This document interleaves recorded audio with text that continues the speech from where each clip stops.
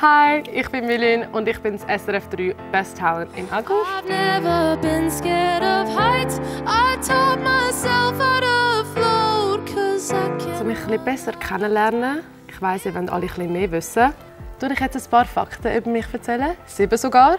Aber einer ist gelogen.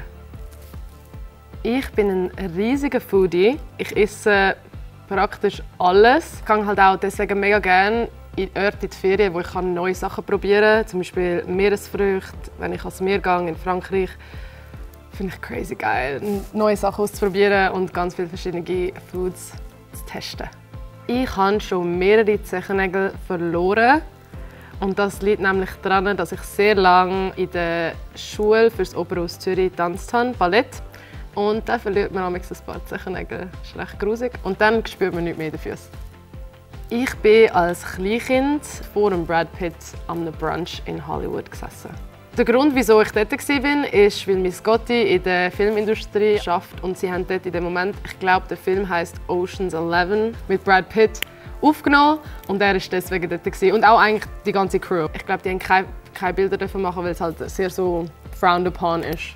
Ich habe als etwa Zweijährige für andere Kinder in der Spielgruppe übersetzt. Ich habe eigentlich, obwohl ich kein Spanisch kann, mit diesen Kindern, die auf Spanisch geredet haben, probiert für sie übersetzen und probiert ihnen zu erklären, was im Unterricht läuft. Und ähm, ja, anscheinend sind die Leute sehr von dem beeindruckt gewesen.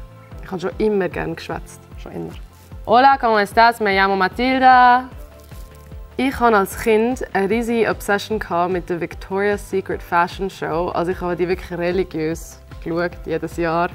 Ich hatte sogar von meinem Lieblingsmodel, die heißt Miranda Kerr, das Poster über meinem Bett. Gehabt.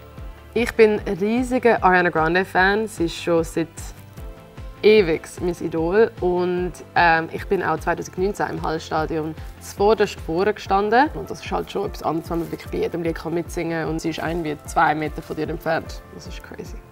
Ich bin ein riesiger Tiermensch. Mein Traum neben der Musik ist, irgendwann ein riesiges Haus mit einem riesigen Garten zu haben und ganz, ganz viele Hunde, ähm, wo ich auch retten kann und dann adoptieren lassen. So wie ein Mini-Tierheim. Milün Tierheim. Das sind jetzt die sieben Facts über mich. Gewesen.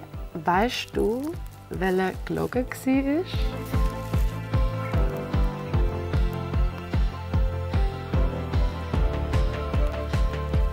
Der gelogene Fakt war, dass ich ein Booty bin. Bin ich aber nicht. Ich bin mega pingelig mit Essen. Ich finde es sogar schlimm im Raum sein, wenn jemand Meeresfrüchte isst. Also ich muss mich mega zusammenreißen, um erwachsen zu sein und kein Kind sein, das sagt «Bäh!»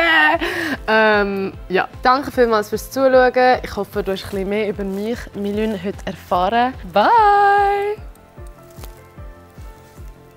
Oh, by the way, you should, you know, here, also äh, hören, äh, my music. He- Here, yes, please. Thank you.